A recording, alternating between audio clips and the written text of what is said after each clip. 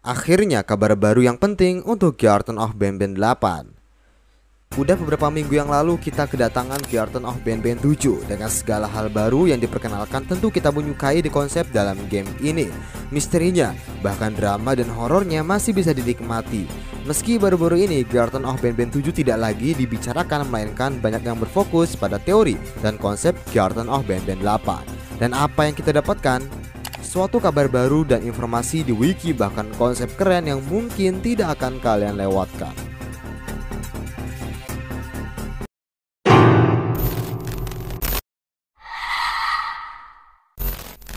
Halo semuanya kembali di channel Zeki Bos kedua Kita semua tahu bahwa kelanjutan dari serial ini akan terjadi dalam 3 atau 4 bulan lagi Masih di tahun yang sama Karena cerita hampir mencapai klimaks Sehingga developer ini harus segera membereskan beberapa konflik yang terjadi di dalam game Dan lebih berfokus pada pencarian orang hilang yang jadi topik utama Mungkin itu akan terwujud karena terdapat informasi baru di wiki Garden of Banban 8 dan konsep menarik yang akan sayang jika dilewatkan.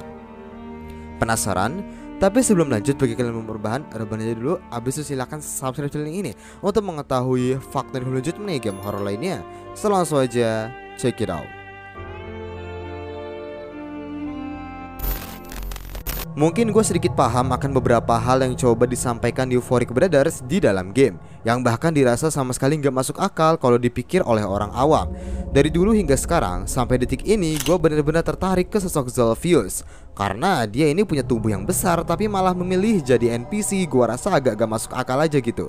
Terlebih lagi gak ada alasan pasti kenapa Zolfius diem terus kayak gitu Dan selalu ada di setiap sudut lokasi dari tiap chapter Jelas dong orang awam pasti nanya ini monster fungsinya buat apa sih? Mungkin aja Zulfius bakal terus-terusan jadi NPC sampai akhir game tiba. Tanpa mengetahui asal-usul atau cerita di balik Zulfius itu kayak gimana. Tapi apa pun itu kita emang harus paham bahwa developer punya cara terbaik untuk mengurus Zulfius. Atau bisa aja sebaliknya Zulfius dilupakan dan benar-benar menghilang tanpa jejak sebelum ending didapat player. Banyak pertanyaan yang serupa dan bisa dijawab di wiki fandom Yang mungkin tidak ingin kalian lewatkan. Tertarik? Untuk itulah kita akan terjun lebih dalam ke beberapa informasi tambahan ini. So, let's go.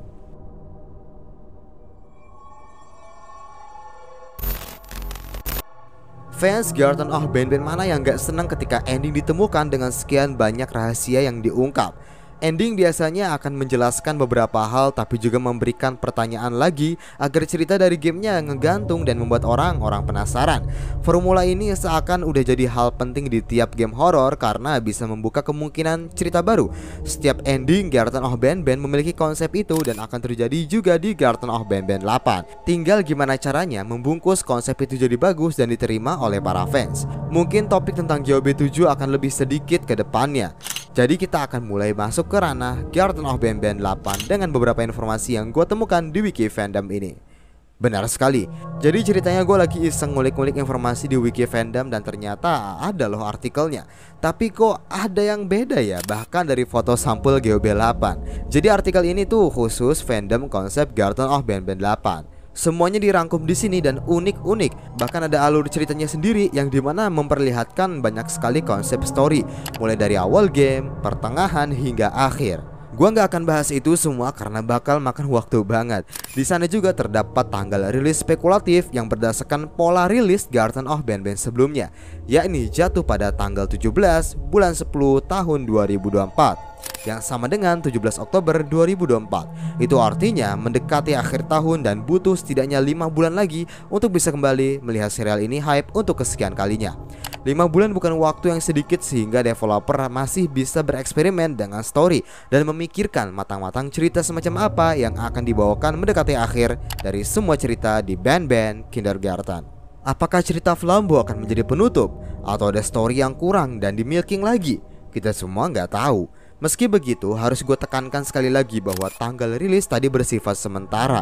Bisa aja lebih cepat, bisa juga lebih lama, bahkan mungkin Desember 2024 Itu bagus sih karena momennya tepat dengan liburan akhir tahun. Next topik yang akan kita bahas adalah konsep Lombo Mutant Syringian Kalian gak salah dengar, Ya meski nama itu adalah sebutan gue sendiri untuk sosok ini Tapi mari kita panggil seperti itu Kata mutan Sirenjian mengartikan bahwa sosok Sirenjian yang berubah menjadi versi lain Atau versi upgrade dari dirinya kita tahu bahwa ada beberapa maskot yang bisa berubah menjadi mode mutant dan sekarang Sirinjian yang punya versi mutan. Konsep ini dibawakan oleh kreator bernama Vila Pila dalam video barunya yang berjudul Garden of Ben Ben Age Flambeau News Friends. Konsep itu berdurasi satu menit yang memperlihatkan player, Flambo Ben-Ben, dan Sirinjian. Di sini Flambo seperti mencoba menghasut player untuk mencengkram Sirinjian dengan sebuah alat. Manipulasi yang dilakukan Flambo berhasil dan membuat player seorang diri dalam hal ini. Flambo juga memperkenalkan salah satu rekan yang mirip dengan Sirinjian tapi berwarna biru, berbadan kekar berurat, dan memiliki banyak lengan dan punya aksen janggut layaknya Flambo Ben-Ben. Ini adalah sosok yang gua sebut Flambo Mutant Shirijin. Aksi kejar-kejaran antara player dengan Flambo Shirijin terjadi. Player berhasil bersembunyi tapi digagalkan oleh Flambo Ben-Ben, membuat player diketahui dan tertangkap oleh Flambo Mutant Shirijin.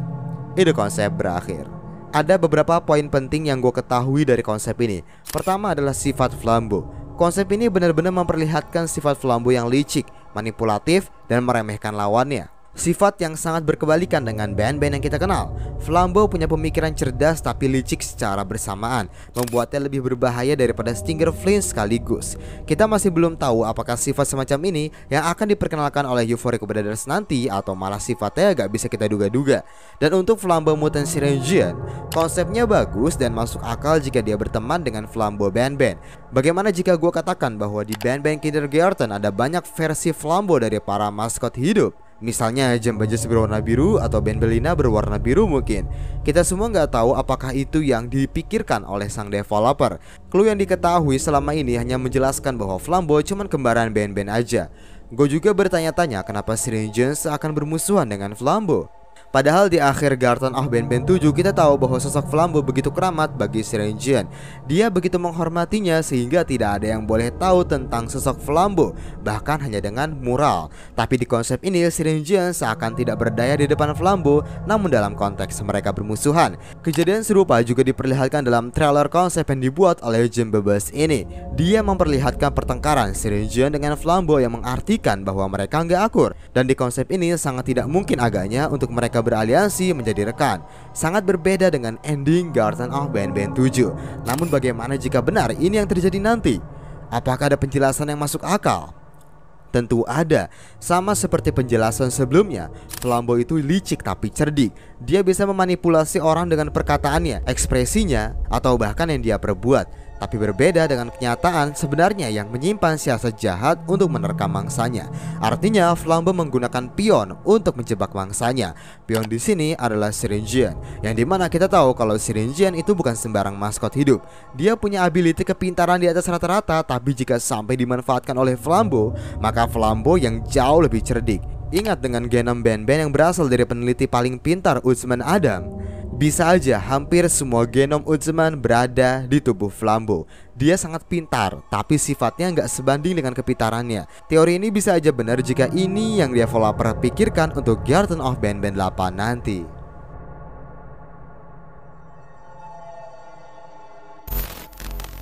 Oke, jadi gimana video kali ini? Tulis pendapat dan teori kalian kolom komentar. Dan jangan lupa untuk beristirahat. Sama gue Zakian. Bye